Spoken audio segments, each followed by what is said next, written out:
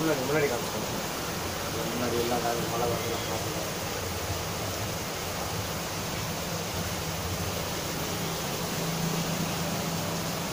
இல்லைங்க பழனி கிளை டிரைவர் பேசுகிறேங்க விஜயகுமாருங்க. இருபத்தி மூணு பதினாலு இந்த வண்டிங்க. திருச்சி வெளிச்சத்தில் ஓடுதுங்க. காலையில் ஏழு மணிக்கு திருச்சியிலேருந்து வண்டி எடுத்தனுங்க. இதே மழை இதே மாதிரி தான் மழை பெஞ்சிட்டே இருக்குது காமிங்க அப்படியே மழை.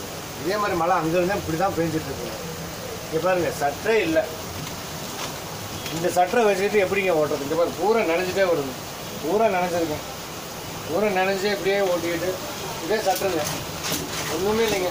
இதுக்கப்புறம் ஒன்றுமே கிடையாது. இதுவும் சட்டரே இல்லை இந்த சட்டரை வச்சு நான் எப்படி வண்டி ஓட்டி என்னத்தை பண்ணுறது சொல்லுங்கள் எவ்வளோ கொடுமை அனுபவிச்சிருக்கேன். நாளைக்கு கா ஏதாவது உடம்பு முடியல காய்ச்சல் வந்துச்சுன்னா என்ன பண்ணுறதுங்க ஏதாவது ஒரு அதிகாரி இதெல்லாம் பார்க்குறாங்களா?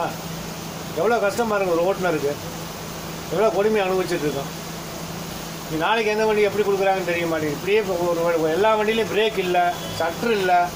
ஆனால் வாகனம் மட்டும் ஓட்டணும் எப்படியெல்லாம் பணி செய்யணும் அப்படிங்கிறாங்க. இதெல்லாம் எப்படிங்க? ஒரு நாலு மணி நேரம் வண்டி ஓட்டியிருக்கேன். எப்படிங்க முடியும்? அப்படி நினைஞ்சிட்டே வண்டி ஓட்டுறேன் நான்.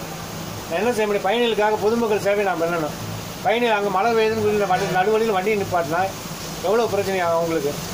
கஷ்டப்பட்டு ஓட்டிகிட்டு வந்தால் பயணிகள் எல்லாம் சு- சூதானமாக அனுப்பிச்சிருக்கேன்.